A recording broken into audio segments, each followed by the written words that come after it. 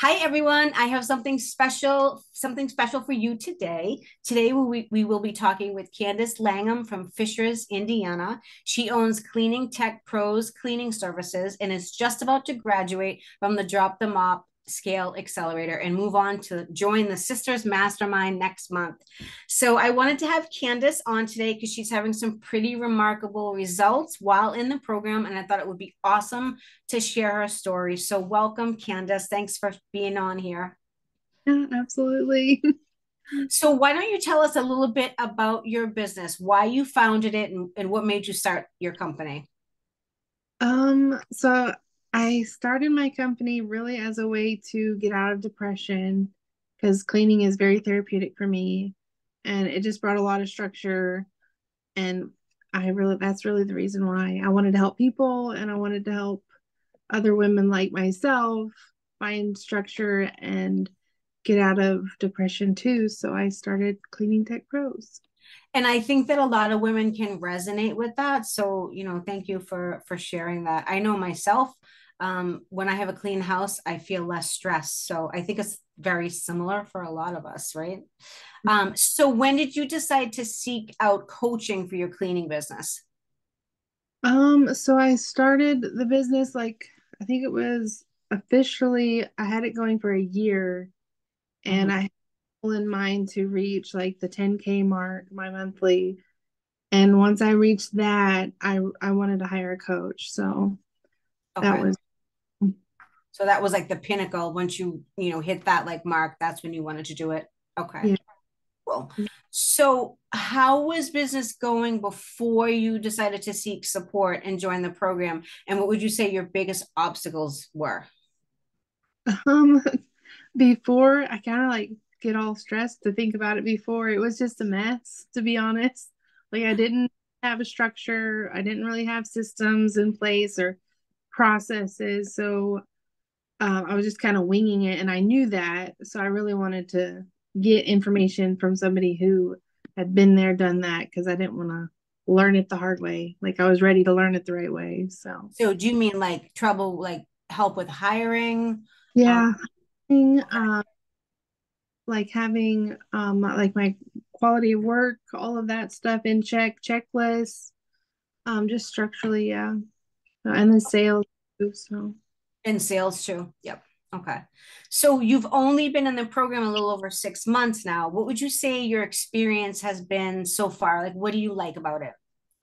Oh, I feel uh, way more confident. I have, I feel like I can, I just, I have more to offer my clients, but also more structure and boundaries. So that's huge for me.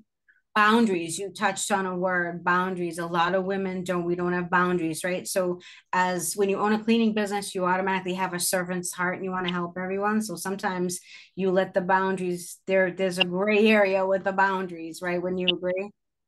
Yes that's how it was for me totally so. Totally yeah you've made a lot of changes in that in that yeah. with your confidence and everything like uh, like a massive amount um, so what would you say, what major changes has the program helped you make? Um, with my confidence and then um like I guess the biggest example would be like late fees and you know charging what I'm worth and um making totally. adjustments. Yeah. And so I know we were talking earlier and you had said that um you now have less clients, but you're mm-hmm. making more profit. Explain to me a little bit about that. Yeah, so we when we did the whole price increase or the rate increase, and I was able to sift through and filter out the, the accounts or clients who weren't making me money and the ones who were, I actually got rid of a lot of clients, but then I increased my um, revenue at the same time. So I actually have less clients, but make more money. So that feels really, really good. so your face is beaming when you say that. Did you get rid of maybe some clients that were not so nice? Yeah. Oh yeah, absolutely. yeah. Now I have like eight clients who I actually like I love to go and see and clean and it's not stressful in their homes at all. And that that to me is huge. So Yeah, I mean, there is, you know, not every client's created the same. Like there can be some really nasty clients out there. And, you know, that's one of the things I try and do is show you that your schedule doesn't have to be filled with nasty people.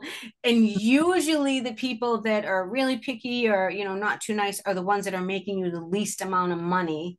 So, you know, we did a pricing audit um, with with Candace's clients to see who was who was profitable, who wasn't, and I feel like most of the clients that you didn't like cleaning weren't making you any profit.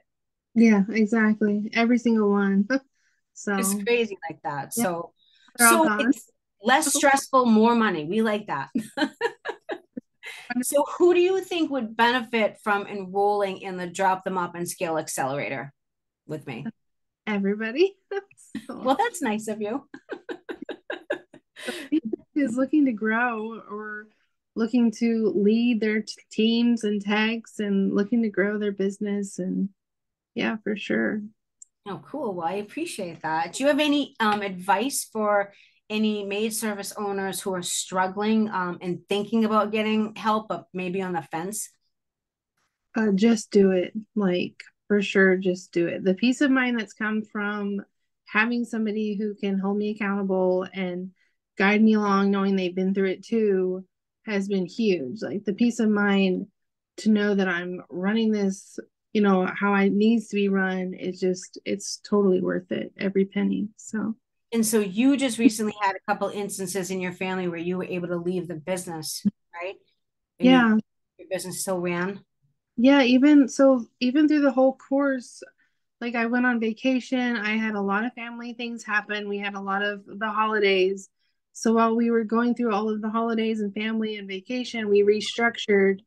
So in the process of all of that, I was able to sift through my clients, lower my client accounts, but at the same time raise my revenue. So but I think in the while you're in the program, you trained your staff to work without you. And that's probably one of the biggest things that happens is when you let go of that control. Because I think in the beginning, you're so used to, you know, your houses need to be cleaned my way or it's not going to be right. And I think you learned how to train them to clean them in a certain way so you could actually, you know, step out and leave.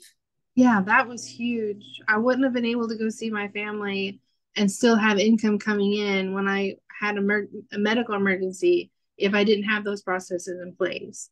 So they were able to manage the whole thing for over a week while I was out.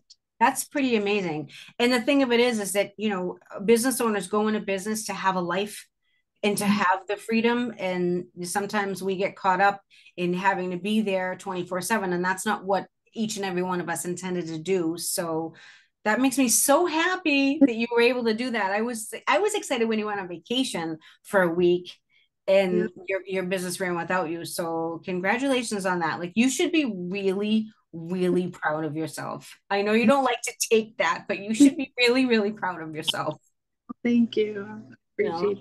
So now once you know once you're in the mastermind now we're gonna you know what would you like to do with your revenue? Would you like to double it or is that too scary?